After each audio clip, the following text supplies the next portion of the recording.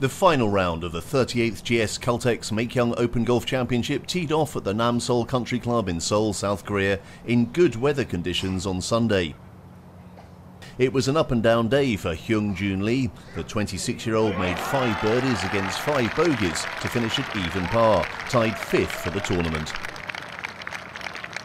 Defending champion Sang Park, who started his round at 4 under, fired 5 birdies including this at the 8th. The tournament favourite dropped 3 strokes though to finish 2 under for the day. 6 under par in total, he would sit in solo 4th for the championship.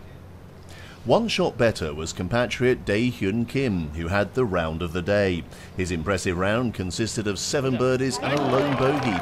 The 31 year old finished solo third at 8 under par in total and there were two players tied for the first, and both of them finished level par 71 through 18 holes. That meant a playoff was necessary to determine the winner.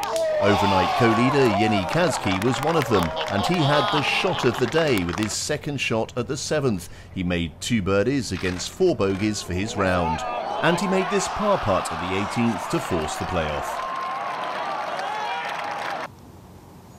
careers, Taehee Lee was Janne Kaske's challenger for the title.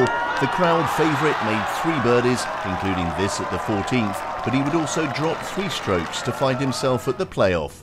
The nerve wracking third playoff hole saw Taehee Lee make this birdie to win the title. A fantastic display of golf would see him claim his first Asian Tour win.